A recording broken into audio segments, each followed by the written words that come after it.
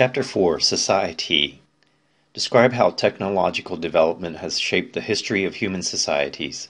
Analyze the importance of class conflict to the historical development of human societies. Demonstrate the importance of ideas to the development of human societies. Contrast the social bonds typical of traditional and modern societies. Summarize the contributions of Lenski, Marx, Weber, and Durkheim to our understanding of social change. Chapter 4, page 89. Is computer technology such as internet accessible to everyone in the United States? For some, the internet is as close as their smartphone. However, others have never used this technology. Almost everyone who has earned a college degree is online, in contrast to only three quarters of adults who have not attended college. How would you explain this link between education and using the internet? Chapter Overview, chap- page 90. We all live within a social world. This chapter explores how societies are organized and also explains how societies have changed over the centuries.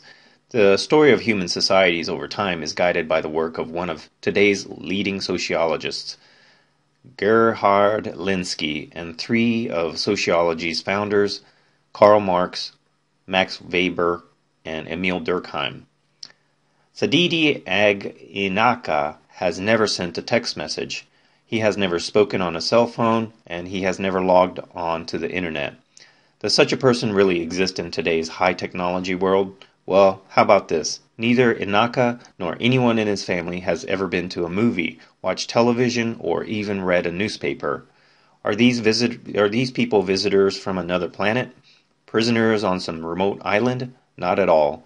They are the Tuareg nomads who wander over the vast Sahara in the western African nation of Mali and Niger. Known as the Blue Men of the Desert for the following blue robes worn by both men and women, the Tuareg herd camels, goats, and sheep and live in camps where the sand blows and the daytime temperature often reaches 120 degrees Fahrenheit. Life is hard, but most Tuareg, Tuareg try to hold on to traditional ways. With a stern look, Inaka says, My father was a nomad. His father's was a nomad. I am a nomad. My children will be nomads. The Tuareg are among the world's poorest people. In times when there is little rain, they and their animals are at risk of losing their lives. Perhaps someday the Tuareg people can gain some of the wealth that comes from mining uranium below the deserts across which they have traveled for centuries. But whatever their economic faith, Inaka and his people are a society set apart, with little knowledge of the larger world and none of its advantaged, advanced technology. But Inaka does not complain. This is the life of my ancestors. This is the life that we know. Society refers to people who interact in a defined territory and share a culture. In this chapter, you will learn more about human societies with the help of four important sociologists. We begin with the approach of Gerhard Lenski, who describes how societies have changed over the past 10,000 years. Lenski points to, points to the importance of technology in shaping any society. Then we turn to three of sociology's founders. Karl Marx, like Lenski, took a historical view of societies, but Marx's story of societies all about is all about social conflict that arises as people work within an eco- economic system to produce material goods. Max Weber tells a different story, showing that the power of ideas shapes society. Weber contrasted the traditional thinking of simple societies with the rational thought that dominates complex societies today.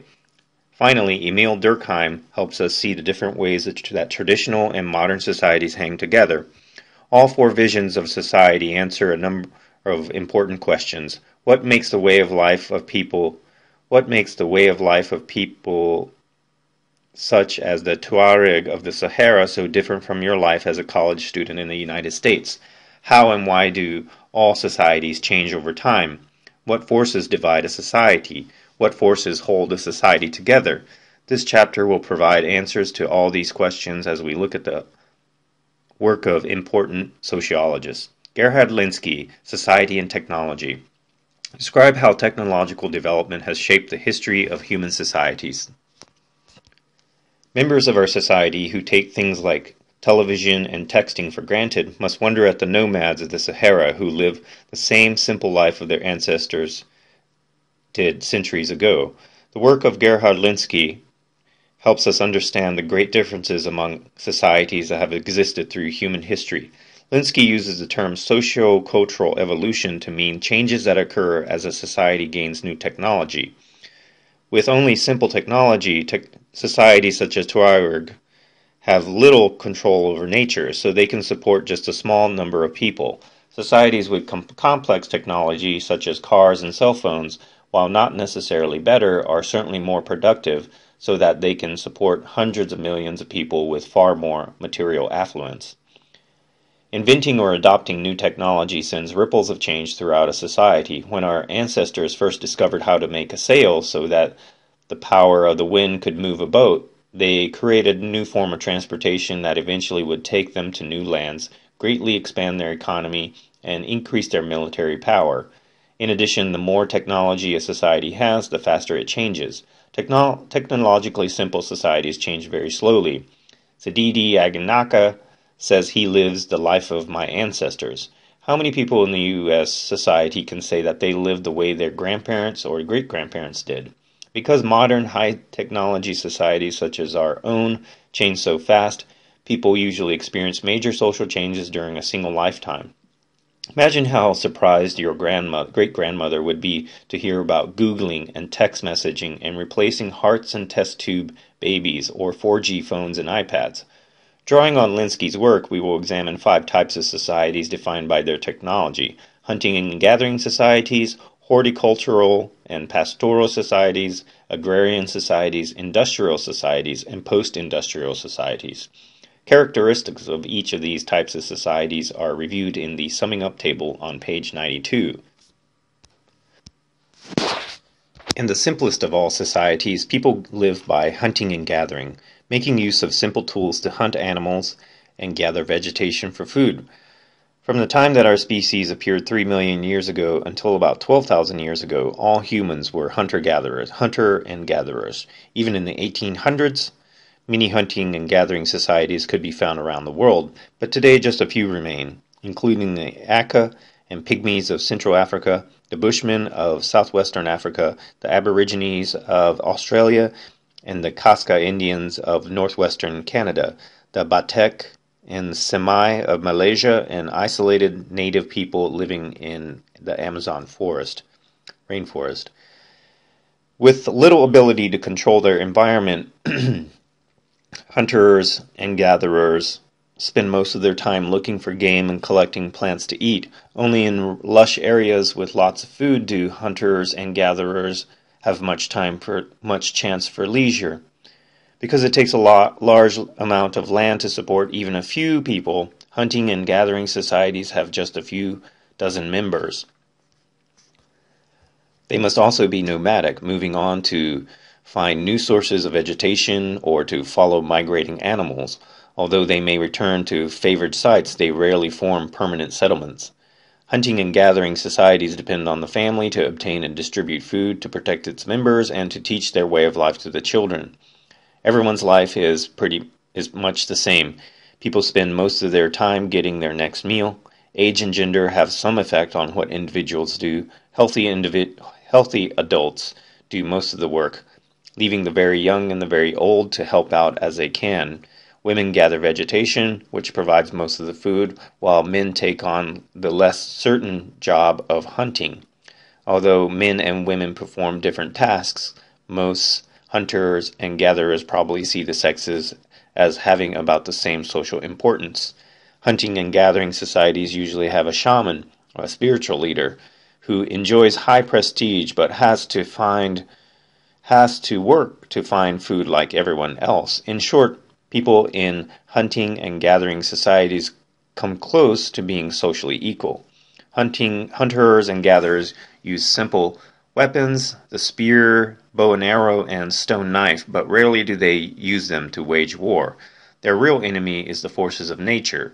Severe storms and droughts can kill off their food supply in a short span of time, and there is little they can do for someone who has a serious accident or illness.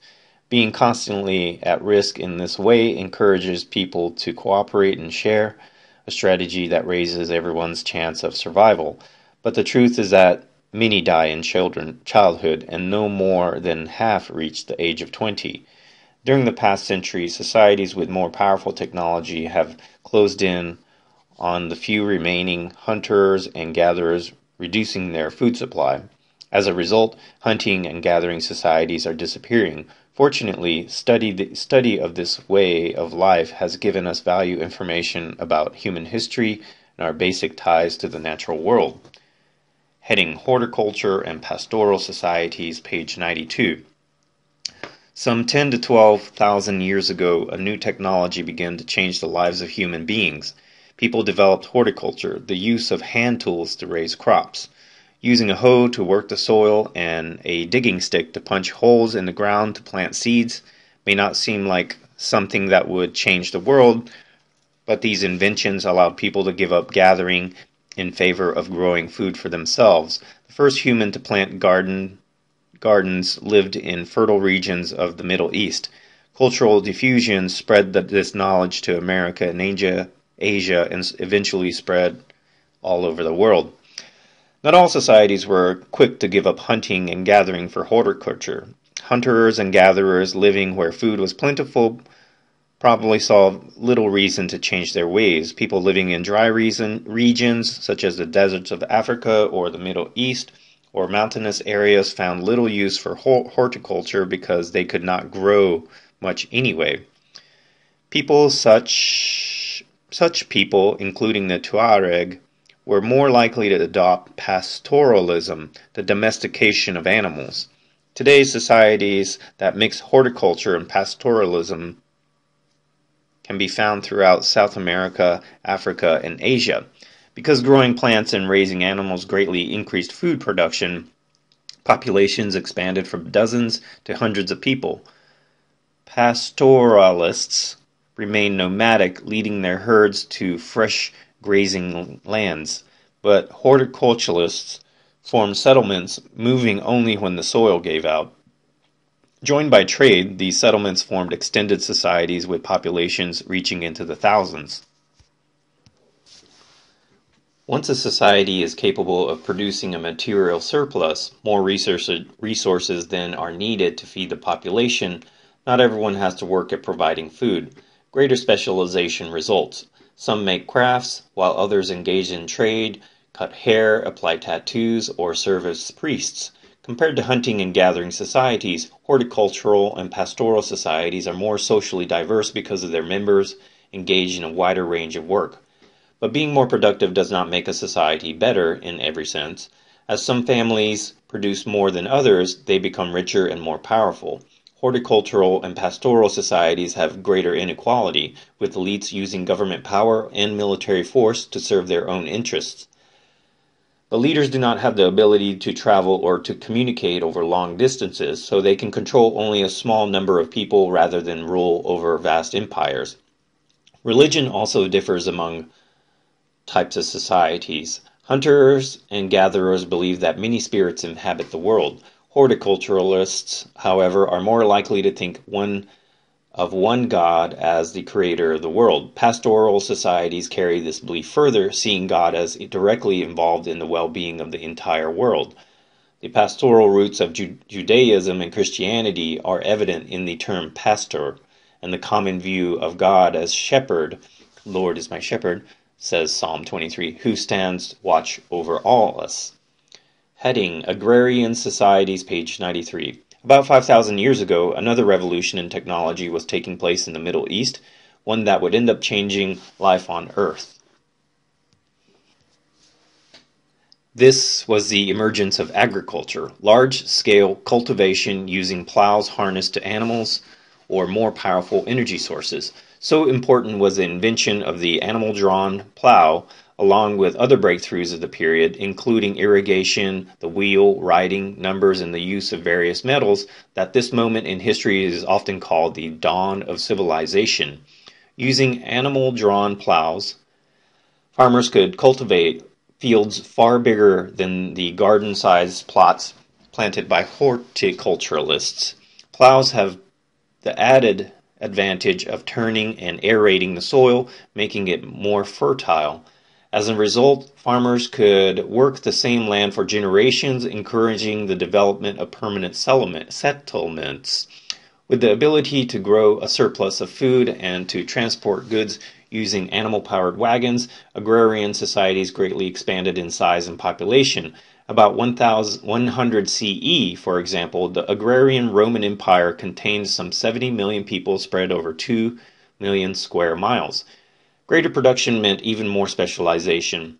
Now there were dozens of distinct occupations from farmers to builders to metal workers. With so many people producing so many different things, people invented money as a common standard of exchange, and the old barter system in which people traded one thing for another was abandoned. Agrarian societies have extremely have extreme social inequalities typically even more than modern societies such as our own. In most cases, a large number of people are peasants or slaves who do most of the work. Elites, therefore, have time for more refined activities, including the study of philosophy, art, and literature. This explains the historical link between high culture and social privilege noted in Chapter 3. Among hunter, hunter and hunters and gatherers, and among horticulturalists. Women provide most of the food, which gives them special importance. Agriculture, however, raises men to a position of social dominance. Using heavy metal plows pulled by large animals, agrarian societies put men in charge of food production. Women are left with support tasks, such as weeding and carrying the water to the fields. In agrarian societies, religion reinforces the power of the elite by defining both loyalty and hard work as moral obligations. Many of the uh, wonders of the ancient world, such as the Great Wall of China and the Great Pyramids of Egypt, were possible only because emperors and pharaohs had almost absolute power and could order their people to work for a lifetime without pay. Of the societies described so far, agrarian societies have the most social inequality. Agrarian technology also gives people a greater range of life choices, which is the reason that agrarian societies differ more from one another than horticultural and pastoral societies do. Heading Industrial Societies, page 94. Industrialism, which first took hold in the rich nations of today's world, is the production of goods using advanced sources of energy to drive large machinery. Until the industrial era began, the major source of energy had been muscles of humans and the animals they tended. Around 1750, people turned to water power, then steam boilers to operate mills and factories filled with larger and larger machines. Industrial technology gave people such power to alter their environment that change to alter their environment, that change took place faster than ever before.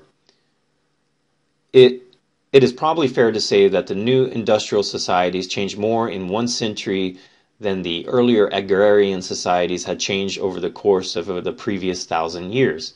As explained in Chapter 1, change was so rapid it sparked the birth of sociology itself. By the 1900s, railroads crossed the land, steamships traveled the seas, and steel framed skyscrapers reached far higher than any of the old cathedrals that symbolized the agrarian age. But that was only the beginning. Soon, automobiles allowed people to move quickly almost anywhere, and electric- electricity powered homes full of modern conveniences such as refrigerators, washing machines, air conditioners, and inter- entertainment centers. Electronic communication began beginning with the telegraph and telephone and followed by the radio, television, and computers, gave people the ability to reach others instantly all over the world.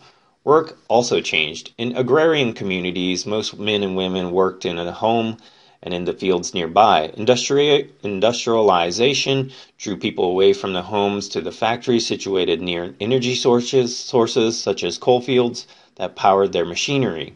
The result was a weakening of close working relationship, strong family ties, and many of the traditional values, beliefs, and customs that guide agrarian life. Entry December 28, Moray in the Andes highland of Peru. We were high in the mountains in a small community of several dozen families, miles from the nearest electric line or paved road.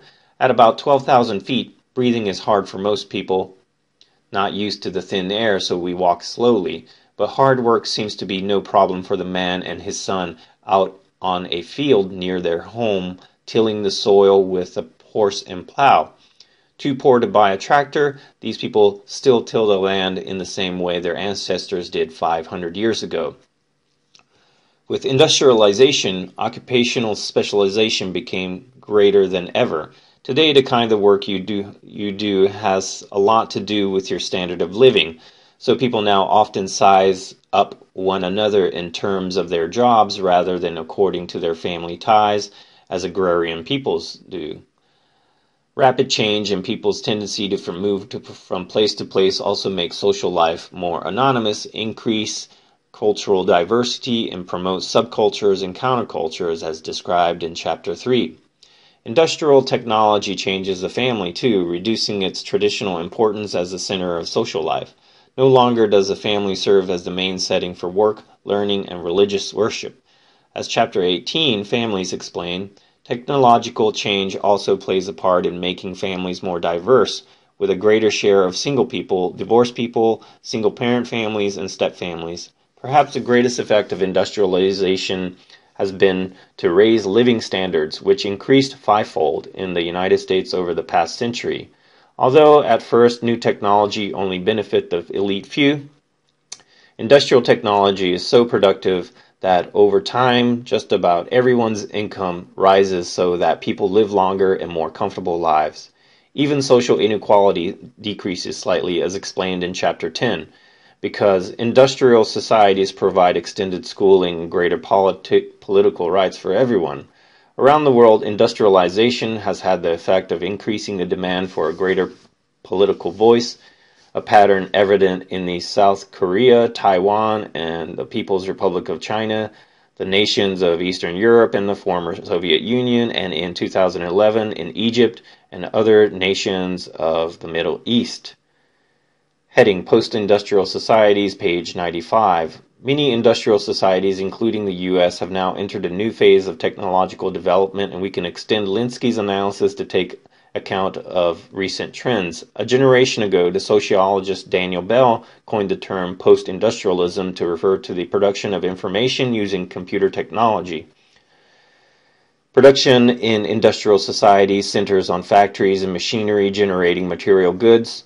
Post industrial production relies on computers and other electronic devices that create, process, store, and apply information just as people in the industrial societies learn mechanical skills, people in the post industrial societies, such as ours, develop information based skills and carry out their work using computers and other forms of high technology communication. A post industrial society uses less and less of its labor force for industrial production, and the work can be performed almost anywhere.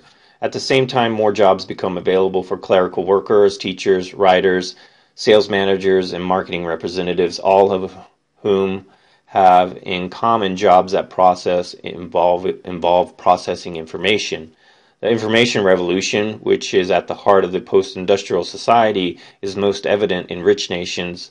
Yet new information technology affects people in all countries around the world. As discussed in Chapter 3, a worldwide flow of products, people, and information now links societies and has advanced a global culture. In this sense, the post industrial society is at the heart of globalization. Heading The Limits of Technology. More complex technology has made life better by raising productivity, reducing infectious disease, and sometimes just relieving boredom.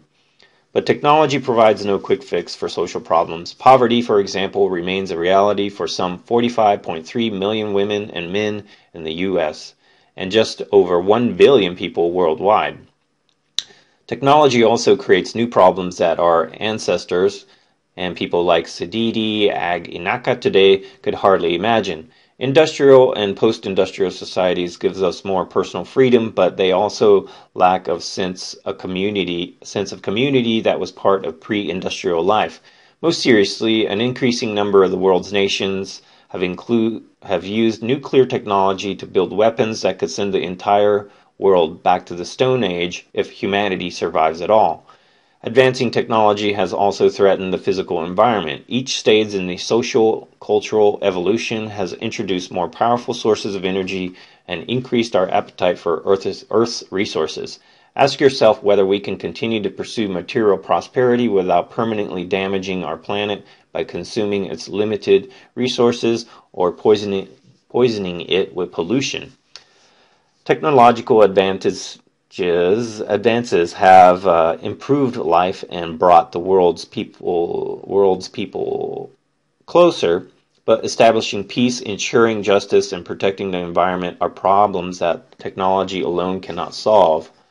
Heading page 95 Karl Marx Society and Conflict analyze the importance of class conflict to historical development of human societies.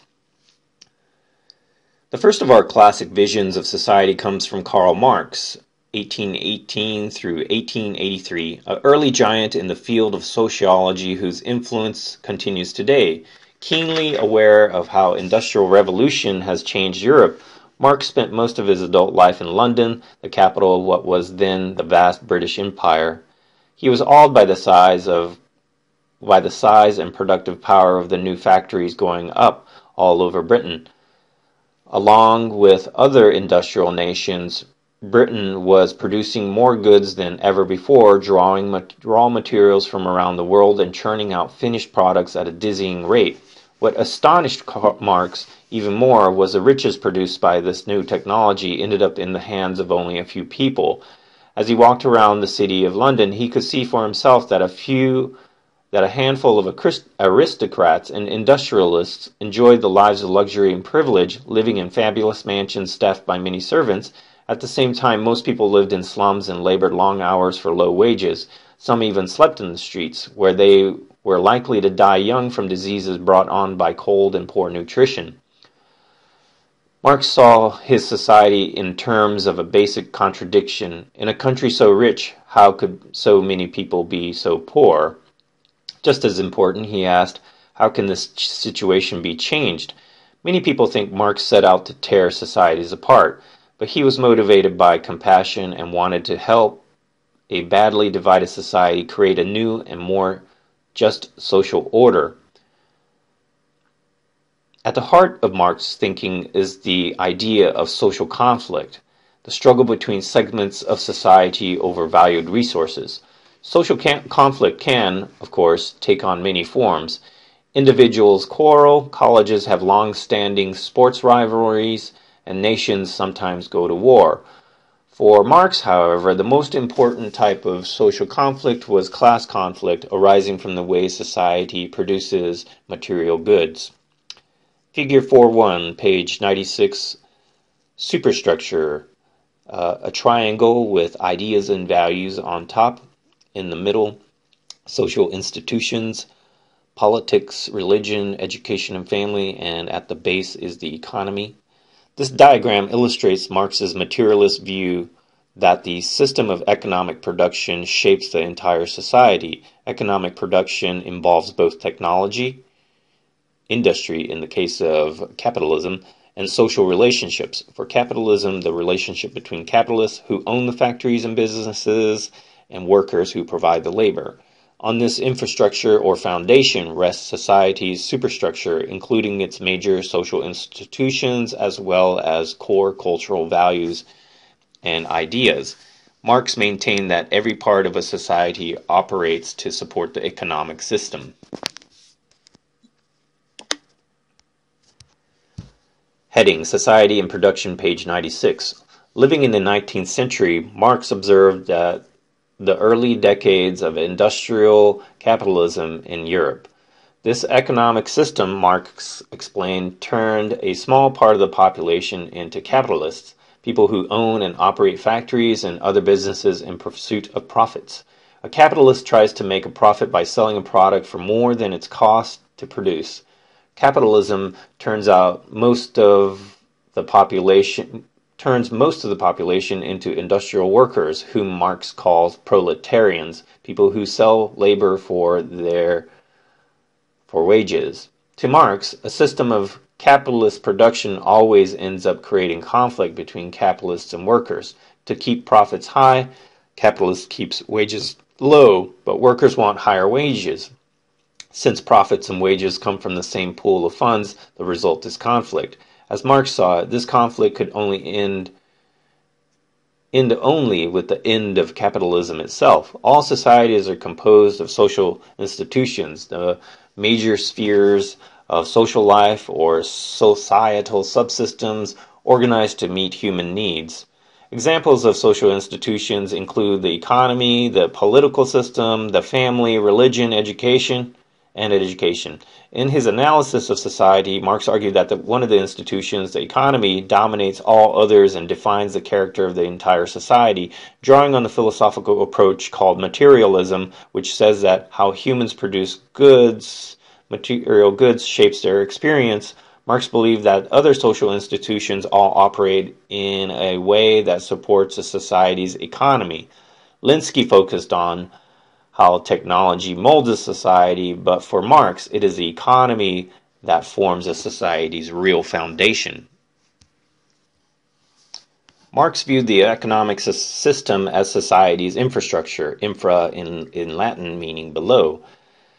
Other social institutions, including the family, the political system, and religion, are built on this foundation. They form society's superstructure and support the economy. Marx's theory is illustrated in Figure 4.1. For example, under capitalism, the legal system protects capitalists' wealth, and the family allows capitalists to pass their property from one generation to the next. Marx was well aware that most people living in an industrial capitalist system do not recognize how capitalism shapes the operation of their entire society. Most people, in fact, regard the right to own private property or pass it on to their children as natural.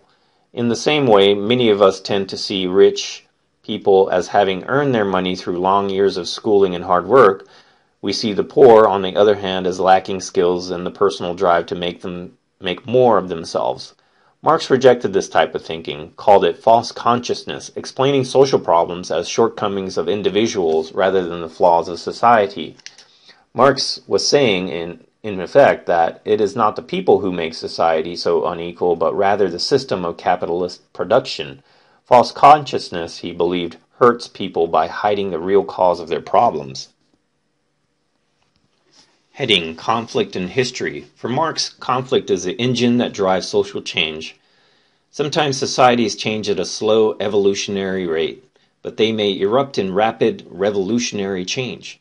To Marx, early hunters and gatherers formed primitive communist societies. Communism is a system in which people commonly own and equally share food and other things they produce.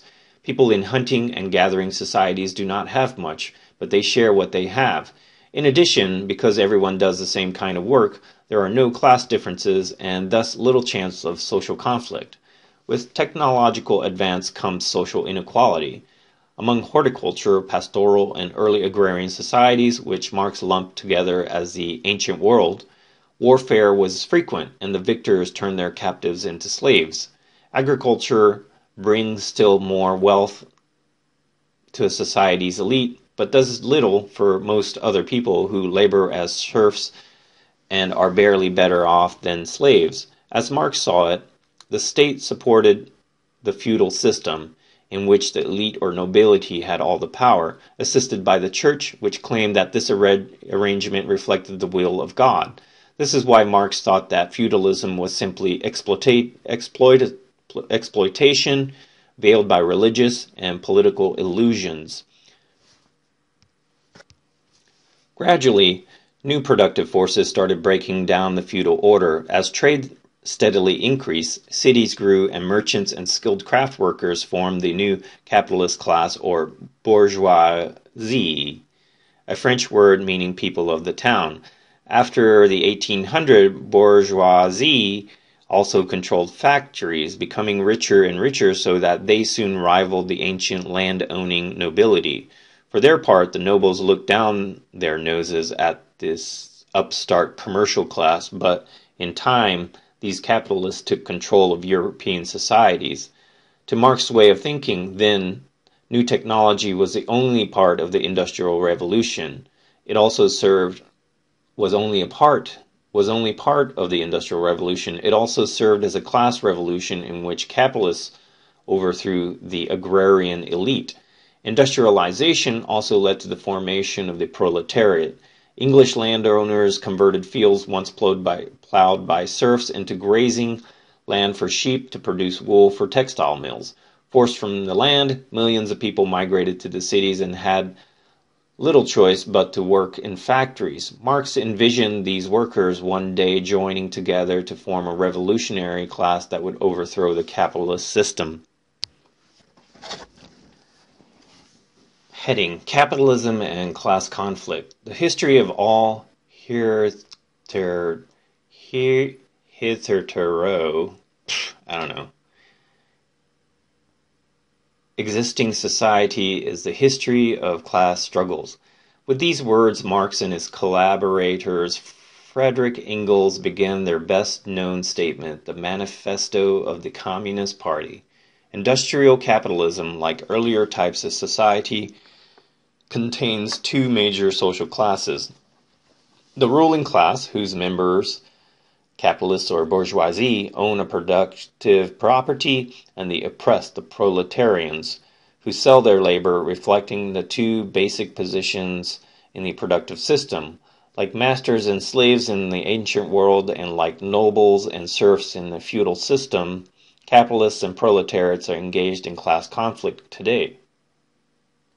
Currently, as in the past, one class controls the other as productive property.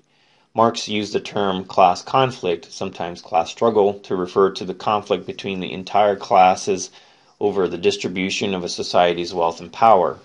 Class conflict is nothing new. What distinguishes the conflict in capitalist society, Marx pointed out, is how how in the open it is. Agrarian nobles and serfs, for all their differences, were bound together by traditions and mutual obligations. Industrial capitalism dissolved those ties so that loyalty and honor were replaced by naked self interest. Because the proletarians had no personal ties to the capitalists, Marx saw no reason for them to put up with their oppression. Marx knew that the revolution would not come easy. First, workers must become aware of their oppression and see capitalism as its true cause. Second, they must organize and act to address their problems. This means that false consciousness must be replaced with class consciousness. Workers' recognitions of themselves as a class unified in opposition to capitalists and ultimately to capitalism itself, because the inhumanity of early, early capitalism was plain for him to see. Marx concluded the industrial workers would soon rise up to destroy this economic system. How would the capitalists react?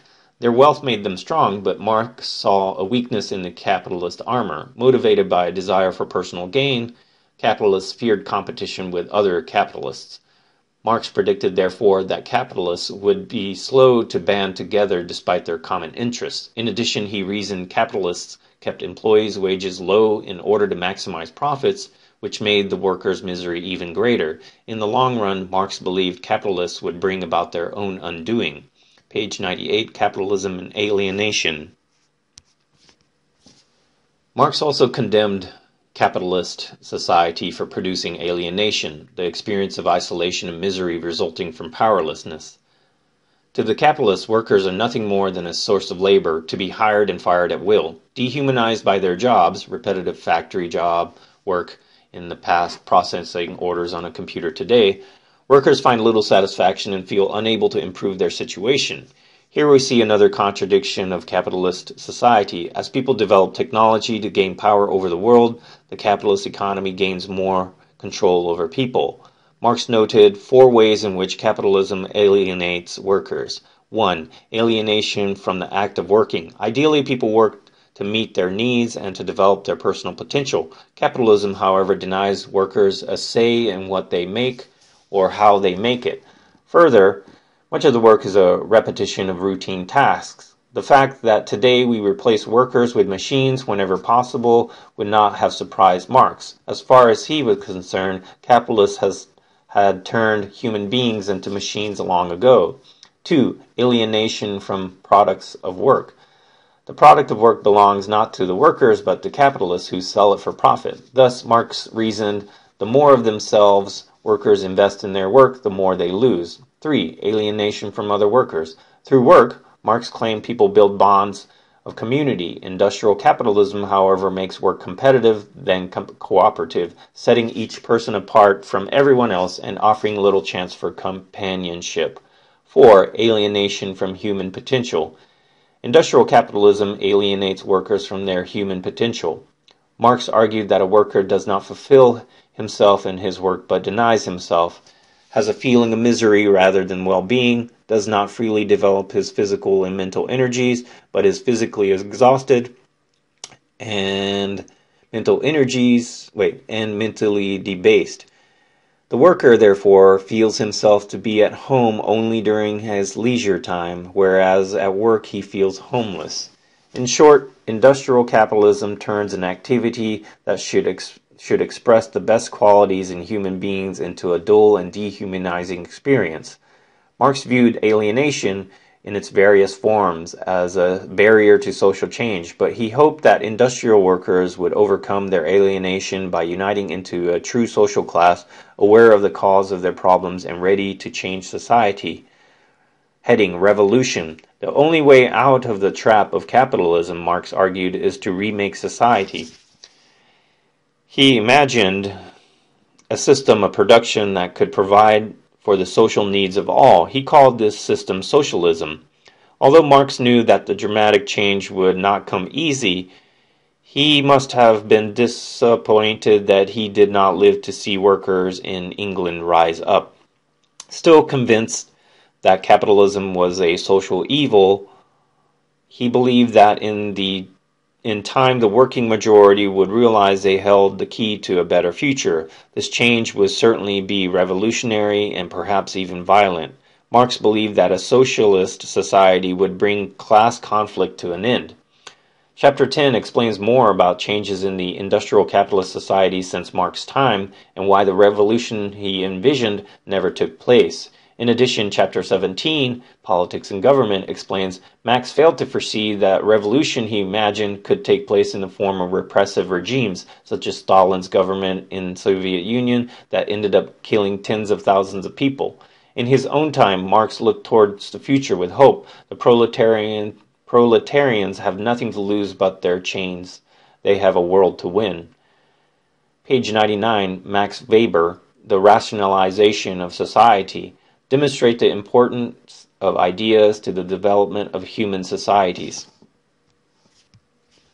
With a wide range with a wide-ranging knowledge of law, economics, religion, and history, Max Weber, 1864 to 1920, produced what many ex- experts regard as the greatest individual contribution ever made to sociology. The scholar, born to a prosperous family in Germany, had much to say about how modern society differs from earlier types of social organization.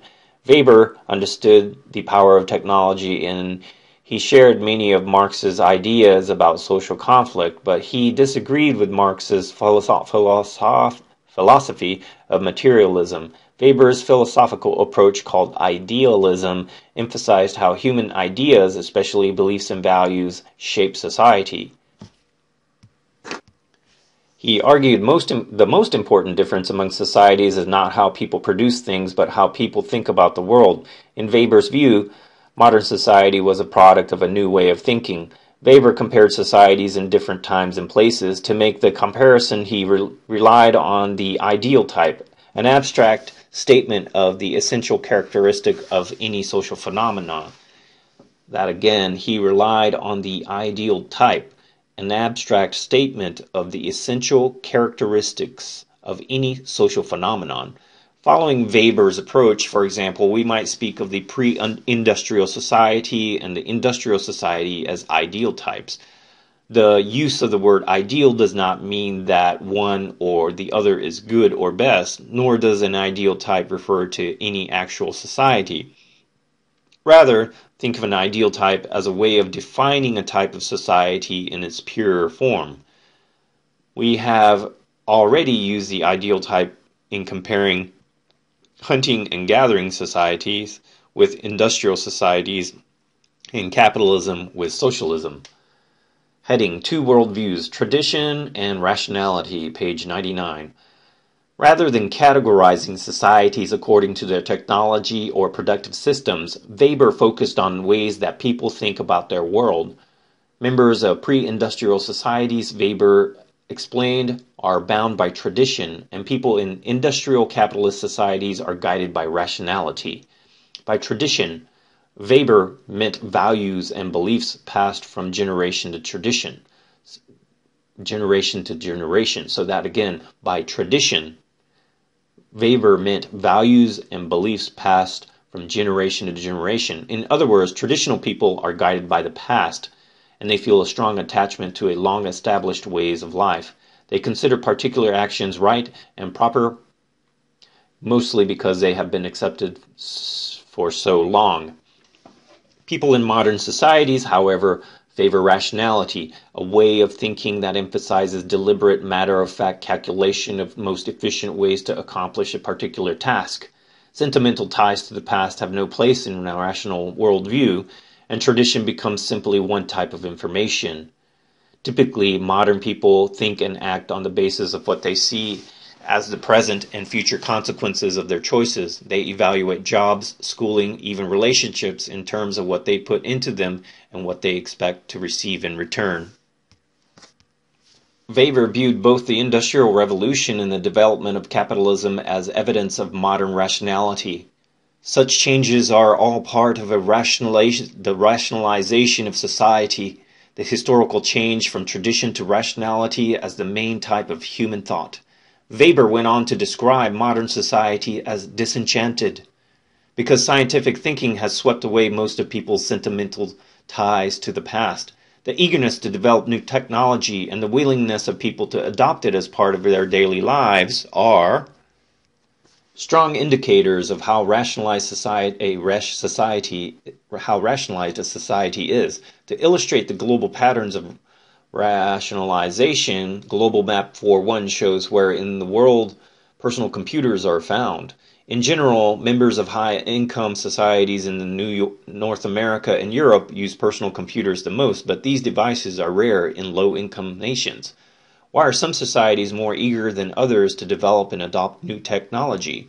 Those with a more rational worldview might consider new computer or medical technology a breakthrough, but those with very traditional cultures might reject such devices as a threat to their way of life. The Tuareg nomads of northern Mali, described at the beginning of this cha- chapter, shrug off the ideas of using telephones. Why would anyone herding animals in the desert need a cell phone? Similarly, in the United States, the Amish refuse to have telephones in their homes because it is not part of their traditional way of life. In Weber's view, whether there is a lot or very little technological innovation depends on how a society's people understand their world. Many people throughout history have had the opportunity to adopt new technology, but only in rational cultural climate of Western Europe did people exploit scientific discoveries to spark the Industrial Revolution. Page 101 Is capitalism rational? Is capitalism a rational economic system? Here again, Weber and Marx ended up on different sides. Weber uh, considered the industrial capitalism highly rational because the capitalists try to make money in any way they can. Marx, however, thought capitalism irrational because it fails to meet the needs of most of the people. Weber's greatest thesis, Protestantism and Capitalism. Weber spent many years considering how and why industrial capitalism developed in the first place. Why did it emerge in parts of Western Europe during the 18th and 19th centuries?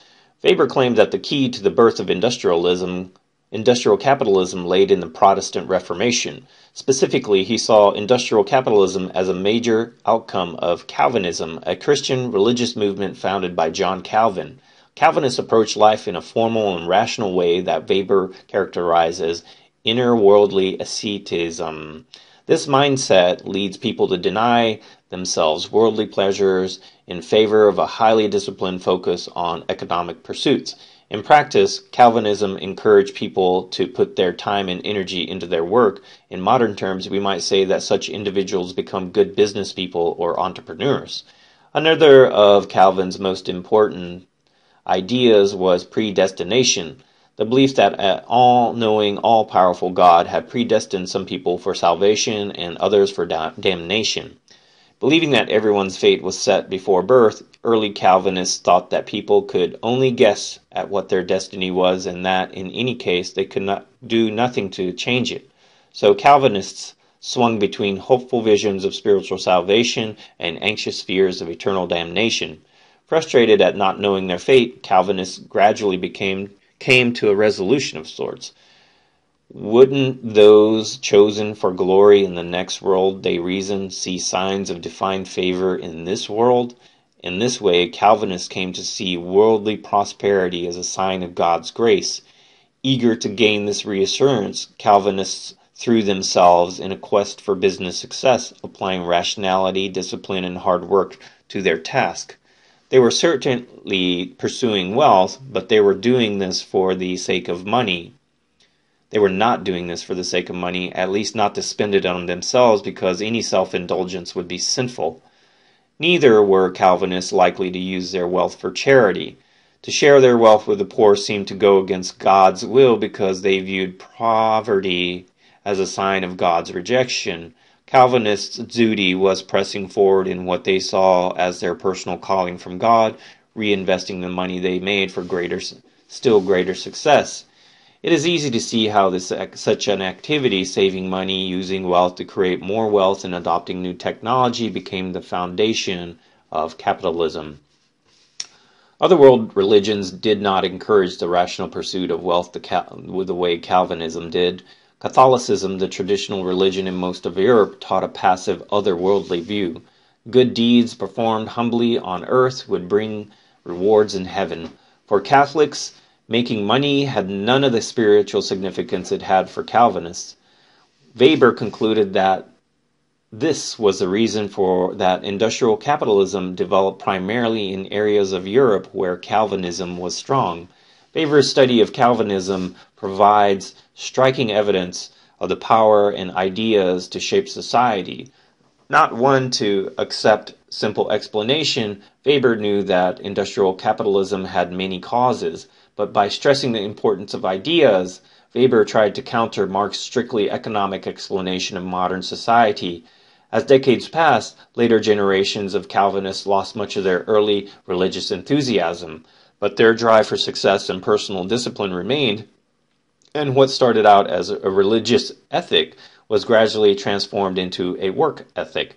In this sense, Weber considered industrial capitalism to be disenchanted religion, with wealth no longer valued as a sign of salvation for its own sake.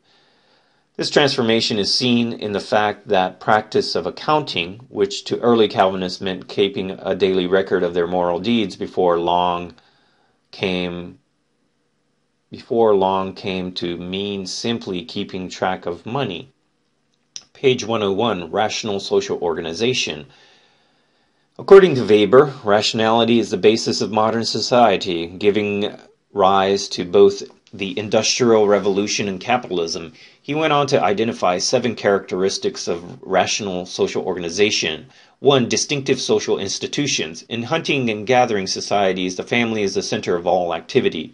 Gradually, however, religious, political, and economic systems develop as separate social institutions.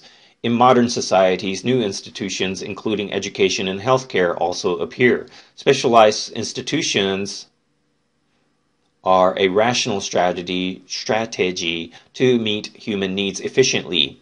2. Large scale organizations. Modern rationality can be seen in the spread of large scale organizations. As early as the horticultural era, small groups of political officials made decisions concerning religious observances, public works, and warfare. By the time Europe had developed agrarian societies, the Catholic Church had grown into a much larger organization with thousands of officials. In today's modern, rational society, almost everyone works for large formal organizations and federal and state government employ tens of thousands of workers. Page 102. 3. Specialized tasks. Unlike members of traditional societies, people in modern societies are likely to have very specialized jobs. The yellow pages suggest just how many thousands of different occupations there are today. Number 4. Personal discipline. Modern societies put a premium on self discipline.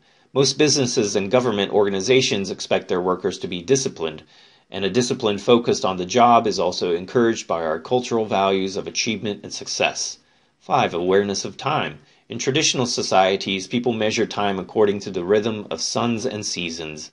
Modern people, by contrast, schedule events precisely by the hour or and even the minute. Clocks began appearing in European cities some 500 years ago. About the same time, commerce began to expand. Soon people began to think that time is money, to borrow from Benjamin Franklin's phrase. Number six, technical competence. Members of a traditional society members of traditional societies size up one another on the basis of who they are, their family ties. Modern rationality leads us to judge people according to what they are with an, with an eye toward their education, skills, and abilities. Most workers have to keep up with the latest skills and knowledge in their field in order to be successful. Impersonality. In a rational society, this is number seven, technical competence is the basis for hiring, so the world becomes impersonal. People interact as specialists concerned with a particular task rather than individuals concerned with one another as people. Because showing your feelings can threaten personal discipline, modern people tend to devalue emotion. All these characteristics can be found in one important expression of modern rationality bureaucracy. Uh, heading Rationality, Bureaucracy, and Science, page 102. Weber considered the growth of large rational organizations one of the defining traits of modern society. Another term for this society or this type of organization is bureaucracy. Weber believed that bureaucracy has much in common with capitalism, another key factor in today's in modern social life.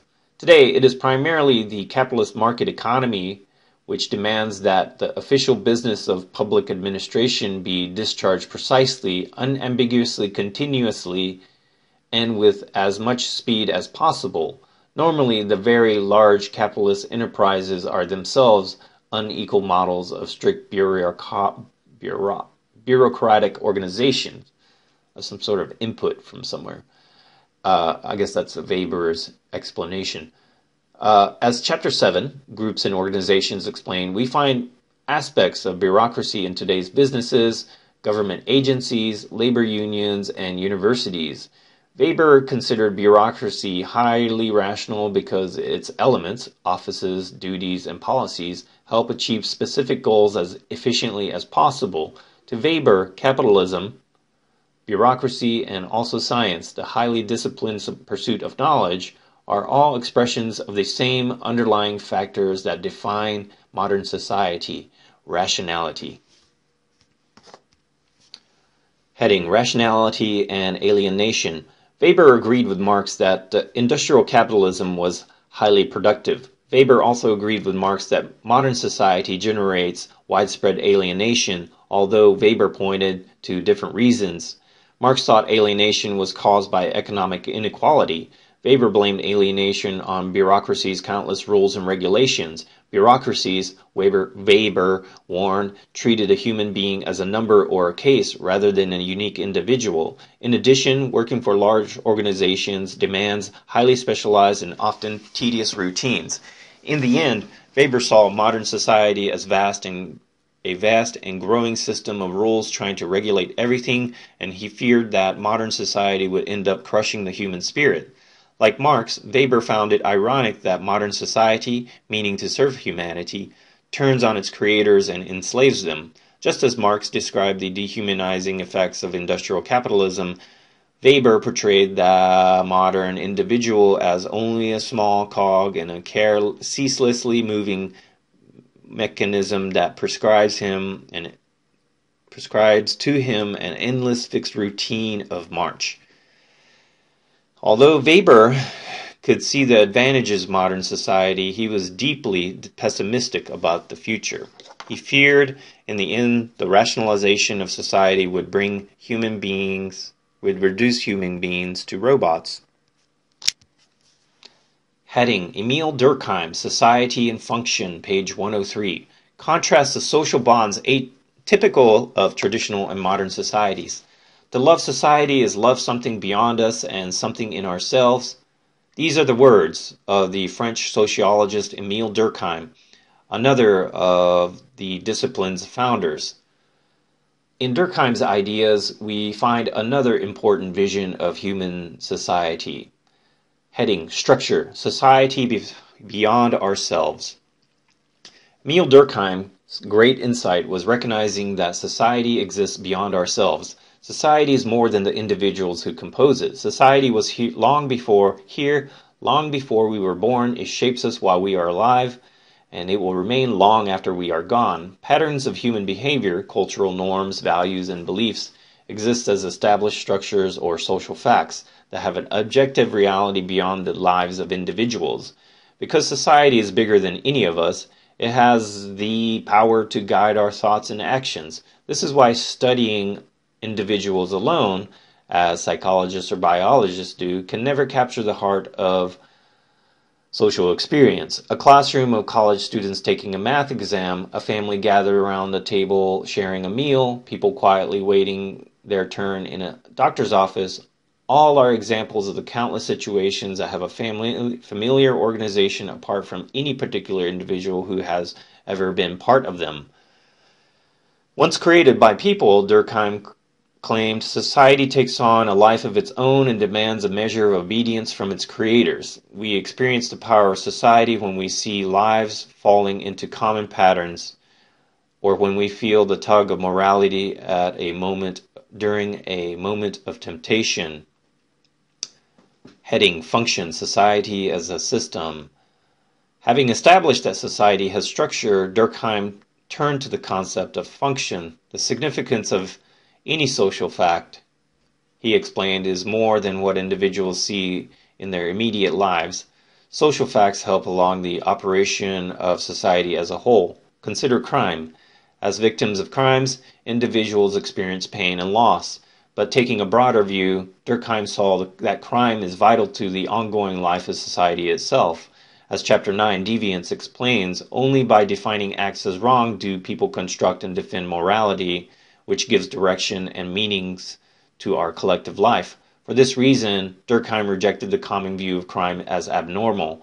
On the contrary, he concluded crime is normal for the most basic of reasons. A society could not exist without it. Heading Personality, Society, and Ourselves, page 103. Durkheim said that society is not only beyond ourselves, but also in ourselves, helping to form our personalities. How we act, think, and feel is drawn from society that nurtures us. Society shapes us in another way as well by providing the moral discipline that guides our behavior and controls our desires. Durkheim believed that humans, human beings need the restraint of society because as creatures who can want more and more, we are in constant danger of being overpowered by our own desires. As he put it, the more one has, the more one wants, since satisfaction received only stimulate instead of filling needs.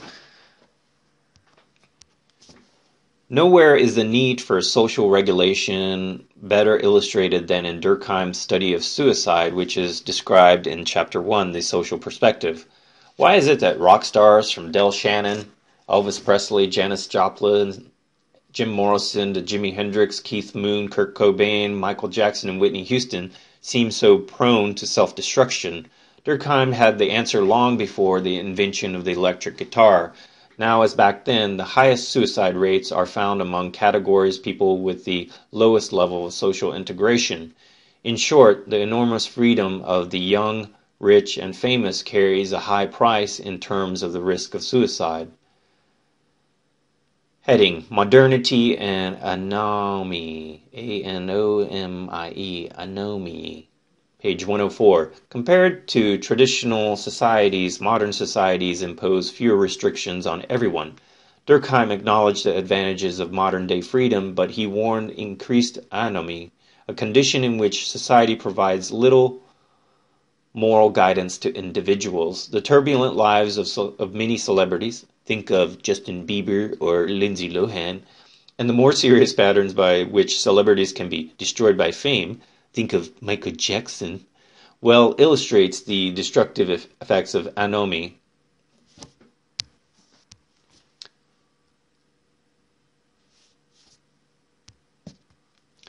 Sudden fame tears people from their families and familiar routines, disrupts established values and norms, and breaks down society's support and regulation of the individuals, sometimes with fatal results. Therefore, Durkheim explained that individuals' desires must be balanced by the claims and guidance of society, a balance that is sometimes difficult to achieve in the modern world. Durkheim would not have been surprised to see a rising suicide rate in modern societies such as the United States. Heading Evolving Societies, the Division of Labor. Like Marx and Dur- like Marx and Weber, Durkheim lived through the rapid social change that swept across Europe during the 19th century as the Industrial Revolution unfolded, but Durkheim offered his own understanding of this change. In pre industrial societies, he explained tradition operates as society, social. El, In pre industrial societies, he explained tradition operates as the social cement, cement that binds people together. In fact, what he learned he termed the collective conscious conscience is so strong that the community moves quickly to punish anyone who dares to challenge conventional ways of life. Durkheim used the term mechanical solidarity to refer to social bonds based on common sentiments and shared moral values that are strong among members of pre industrial societies. In practice, mechanical solidarity is based on similarity. Durkheim called these bonds mechanical because people are linked in lockstep with more or less automatic sense of belonging together and acting alike. With industrialization, Durkheim continued, mechanical solidarity becomes weaker and weaker, and people are much less bound by tradition. But this does not mean that society dissolves. Modern life creates a new type of solidarity. Durkheim called this new social integration organic solidarity, defined as social bonds based on specialization and inter- interdependence that are strong among members of industrial societies. The solidarity that was once rooted in the in likeness is now based on differences among people who find that their specialized work as plumbers, college students, midwives, or sociology instructors makes them rely on other people for most of their daily needs. For Durkheim, then, the key to change in a society is expanding division of labor or specialized economic activity. Weber said that modern societies specialize in order to become more efficient, and Durkheim filled out, filled out the picture by showing that members of modern societies count on tens of thousands of others, most of them strangers, for goods and services needed every day. As members of modern societies, we depend more and more on people we trust less and less. Why do we look to people we hardly know and whose beliefs may differ from our own? Durkheim answer was because we can't live without them. So modern society rests far less on moral conscious consensus and far more on functional interdependence. Herein lies what we might call the Durkheim's dilemma. The technological power and greater personal freedom of modern society come at the cost of declining morality and the risk of anomie. Like Marx and Weber, Durkheim worried about the direction society was taking, but of the three, Durkheim was the most optimistic. He saw that large, anonymous societies gave people more freedom and privacy than small towns. Anomie remains a danger, but Durkheim hoped we would be able to create laws and other norms to regulate our behavior. How can we apply Durkheim's view of views to the information revolution. The Seeing Sociology in Everyday Life box on page 106 suggests that Durkheim, as well as two of the other theorists whose ideas we've dis- considered in this chapter, would have much to say about today's new computer technology. Heading 10, page 105 Critical Review Four Visions of Society. Summarize the contributions of Lenski, Marx, Weber, and Durkheim to our understanding of social change. This chapter opened with several important questions about society. We will conclude by summarizing how each of these four visions of society answers these questions. What holds societies together? How is something as complex as society possible? Lenski claims that members of a society are united by a shared culture, although cultural patterns become more diverse as society gains more complex technology. He also pointed out that as technology becomes more complex, inequality divides a society more and more, although industrialization reduces inequality somewhat. Marx saw in society not, on, not unity, but social division based on class position. From his point of view, elites may force an uneasy peace, but true social unity can occur only if production becomes a cooperative process. To Weber, the members of society share a worldview. Just as tradition, just as tradition joined people together in the past, so modern societies have created rational, large-scale organizations that connect people's lives. Finally, Durkheim made solidarity the focus of work. He contrasted the mechanical solidarity of pre-industrial societies, which is based on shared morality, with modern society's organic sort solidarity, which is based on specialization. How have societies changed? According to Lenski's model of socio-cultural evolution, societies differ mostly in terms of changing technology. Modern society stands out from past societies in terms of its enormous productive power. Marx Two, noted historical differences in productivity yet pointed to continuing social conflict, except perhaps among simple hunters and gatherers. For Marx, modern society is distinctively mostly because it brings that conflict out into the open. Weber considered the question of change from the perspective of how people looked at the world. Members of pre industrial societies have a traditional outlook. Modern people take a rational worldview. Finally, for Durkheim, traditional societies are characterized by mechanical solidar- solidarity based on moral likeness.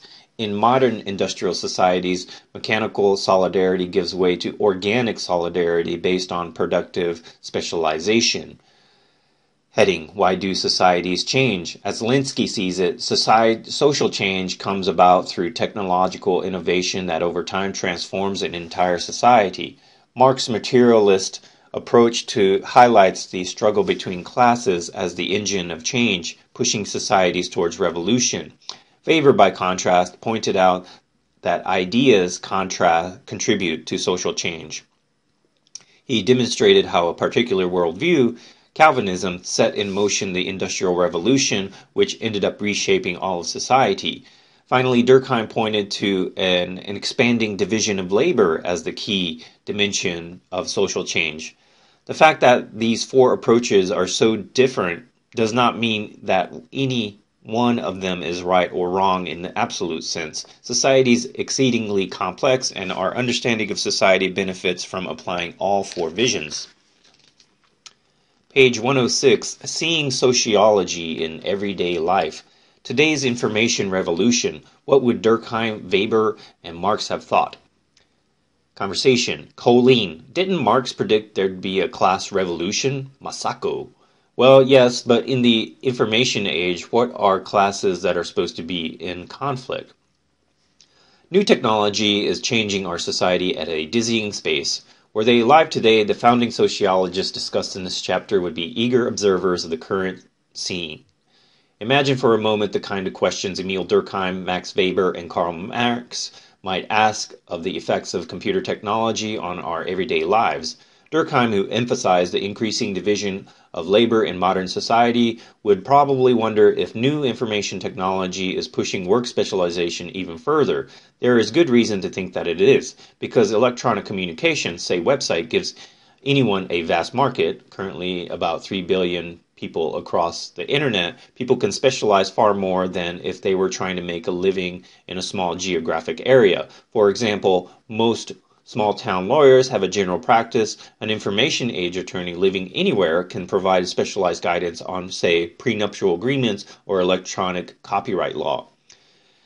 As we move into the electronic age, the number of highly specialized small businesses, some of which end up becoming very large in all fields, is increasing rapidly. Durkheim might also point out that the internet threatens to increase our experience of anomie. Using computers has a tendency to isolate people from personal relationships with others. In one recent survey, 9 out of 10 people in the United States said that they sometimes or often felt ignored by someone in their own home who was spending too much time texting or otherwise using a mobile device. Perhaps, as analyst puts it, as we expect more from our machines, we expect less from each other. An additional problem is that although the internet offers a flood of information, it provides little in the way of moral guidance about what is wise or good or worth knowing. Weber believed that modern societies are distinctive because their members share a rational worldview. And nothing illustrates this worldview better than bureaucracy. What will bureaucracy be as but will bureaucracy be as important during the 21st century? Here is one reason to think it may not. Although organizations will probably continue to regulate workers performing the kind of routine tasks that are in common in the industrial era, much work in the post industrial era involves imagination. Consider the New Age work as designing homes, composing music, and writing software. This kind of creative work cannot be regulated in the same way as putting together automobiles as they move down an assembly line. Perhaps this is the reason many high technology companies have done away with worker dress codes and having employees punch in and out on a time clock.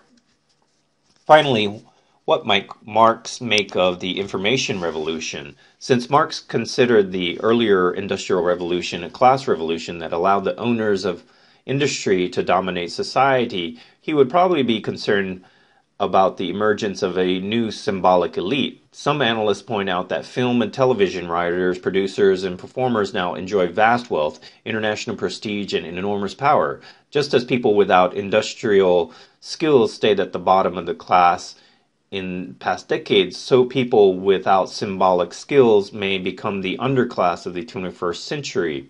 Globally, there is a digital divide by which most people in rich countries, but few in poorer countries, are part of the information revolution.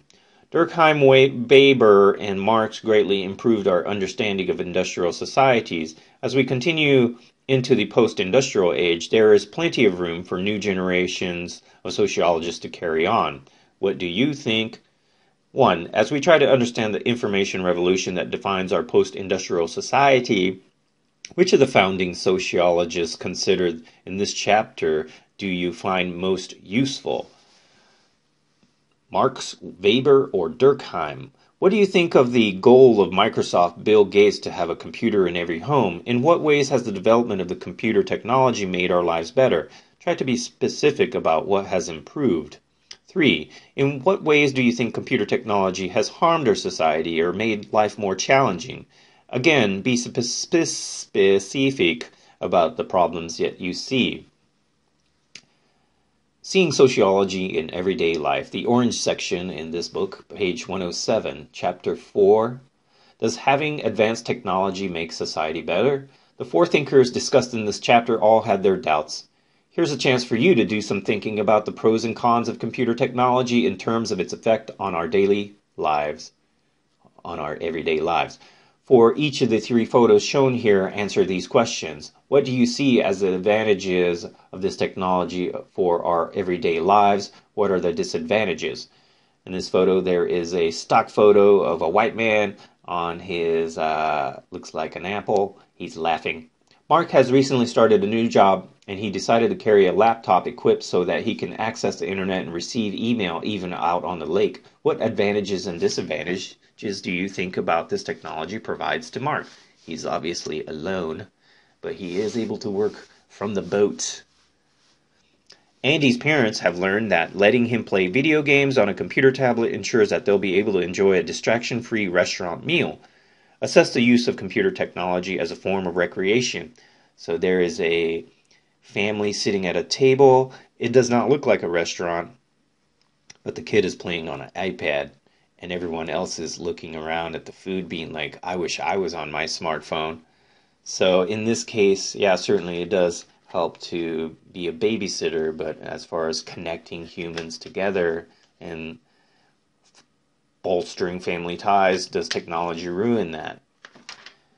This last photo looks like they're at like a basketball game and there's a woman on a phone and there's people sitting around her and she's just uh, distracted. Whether we're in college or whether we're college students or famous actresses, most of us become accustomed to staying in touch with friends as we ride in the car, wait for our dinner in a restaurant, go for a daily walk, or pass the time during a break in a sporting event. What advantages and disadvantages do you see in cell phone technology? Hint page 108. In the first case, being linked to the internet allows us to stay in touch with the office, and this may help, help our careers. At the same time, being connected in this way blurs the line between work and play, just as it allows, may allow work to come into our lives at home.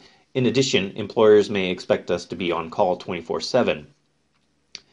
In the second case, computer gaming certainly can be fun and it may develop various sensory motor skills. At the same time, the rise of computer gaming discourages physical play and plays a part in the alarming increase of obesity, which now affects more than one in five children. Also, personal computer technology has the effect of isolating individuals not only from the natural world but from also other people. In the third case, cell phones allow us to talk with others and to send and receive text messages. Of course, we all know that cell phones and cars don't add up to safe driving. In addition, doesn't talking on cell phones in public end up reducing our privacy? And what about the other people around us? How do you feel about having to listen to personal conversations of people sitting nearby? Seeing sociology, sociology in your everyday one.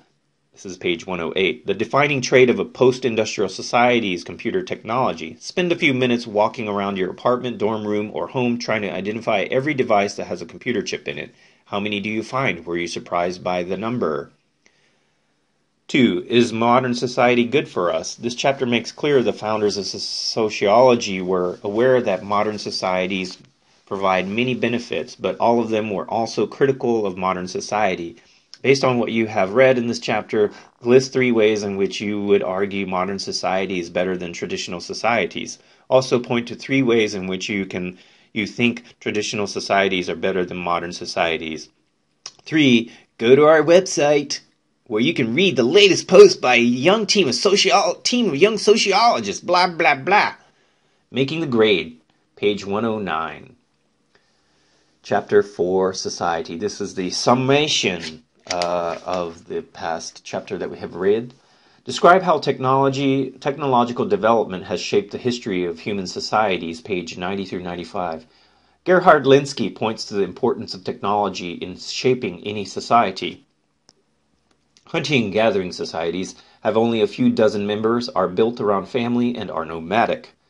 Consider men and women roughly equal in social importance. Men use simple tools to hunt animals, and women gather vegetation. Horticultural and pastoral societies raise animals for food and use hand tools to raise crops. Show greater specialization of work, show increasing levels of social inequality. Agrarian societies use plows harnessed to animals or more powerful energy sources to enable large scale cultivation, show even greater specialization with dozens of distinct occupations, have extreme social inequality, and reduce importance of women. Industrialization uses advanced sources of energy to drive large machinery, moves work from home to factory, and reduces traditional importance of the family. Reduces traditional importance of the family. This is in there twice raises living standards. Post industrialization shifts production from heavy machinery making material things to computer processing information, requires a population with information based skills, is the driving force behind the information revolution, a worldwide flow of information that now links societies with an emerging global culture. Here's some definition terms. Society, people who interact in a defined territory and share a culture. Socio-cultural evolution, Lenski's term for the changes that occur as a society gains new technology. Hunting and gathering, making use of simple tools to hunt animals and gather vegetation for food. Horticulture, the use of hand tools to raise crops. Pastoralism, the domestication of the animals. Agriculture, large scale cultivation using plows harnessed to animals or more powerful energy sources. Industrialism, the production of goods using advanced sources of energy to drive large machinery. Post industrialism, the production of information using computer technology. Section 4.2 Karl Marx, Society and Conflict. Analyze the importance of class conflict to the historical development of human societies. Karl Marx's materialist approach claims that societies are defined by their economic systems. How humans produce material goods shapes their experiences. Conflict and history. Marx traced conflict between social classes in societies as the source of social change throughout history. In ancient societies, masters dominated slaves. In agrarian societies, nobles dominated serfs. In industrial capitalist societies, capitalists dominate proletarians. Capitalism. Marx focused on the role of capitalism in creating inequality and class conflict in modern societies. The ruling class, the capitalists, oppresses the working class, the proletarians. Capitalism alienates workers from the act of working, from the products of work, from other workers, and from their own potential. Marx predicted that a workers' revolution would overthrow capitalism and replace it with socialism, a system of production that would provide for the social needs of all. Definition box Social conflict, a struggle between segments of society over valued resources. Capitalists, people who own and operate factories and other businesses in pursuit of profits. Proletarians, people who sell their labor for wages. Social institutions, the major spheres of social life or social subsystems organized to meet human needs. False consciousness, Marx's term for explanations of social problems as the shortcomings of individuals rather than the flaws of society. Class conflict, conflict between entire classes over the distribution of a society's wealth and power. Class consciousness, Marx's term for workers' recognition of themselves as class unified in the opposition to capitalists and ultimately capitalism itself. Alienation, the experience of alienate, isolation and misery resulting from powerlessness. Page 110, Max Weber, The Rationalization of Society, demonstrate the importance of ideas and development of human societies. Max Weber idealist approach emphasizes the power of ideas to shape society. Ideas and history. Weber traced the ideas, especially beliefs and values, that have shaped societies throughout history. Members of pre-industrial societies are bound by tradition. Members of industrial capitalist societies are guided by rationality. The rise of rationality. Weber focused on the growth of large rational organizations as the defining characteristic of modern societies. Increasing rationality gave rise to both the Industrial Revolution and capitalism. Protestantism, specifically Calvinism, encouraged the rational pursuit of wealth, laying the groundwork for the rise of industrial capitalism. Weber feared that excessive rationality while promoting efficiency would stifle human creativity. Definition box Ideal type an abstract statement of the essential characteristic of any social phenomenon. Tradition values and beliefs passed from generation to generation. Rationality, a way of thinking that emphasizes deliberate, matter of fact calculation of the most efficient way to accomplish a particular task. Rationalization of society, Weber's term for the historical change from traditional tradition to rationality as a main type of human thought. Heading Emile Durkheim Society and Function, page 110, 4.4. Contrast the social bonds typical of traditional and modern societies. Emile Durkheim claimed that society has an existence apart from its individual members. Structure and function. Durkheim believed that society, because society is bigger than any one of us, it dictates how we are expected to act in any given social situation. Social elements such as crime have functions that help society operate. Society also shapes our personality and provides moral, the moral discipline that guides our behavior and controls our desires. Evolving societies. Durkheim traced the evolution of social change by describing the different ways society throughout history have guided the lives of their members. In pre industrial societies, mechanical solidarity guides the social life of individuals. Industrialization and the division of labor weaken the traditional bonds so that social life in modern societies is characterized by organic solidarity. Durkheim warned the increase of anomie in modern societies as society provides little moral guidance to individuals. Anomie, Durkheim's term for a condition in which society provides little moral guidance to individuals. Mechanical solidarity, Durkheim's term for social bonds based on common sentiments and shared moral values that are strong among members of the pre industrial societies.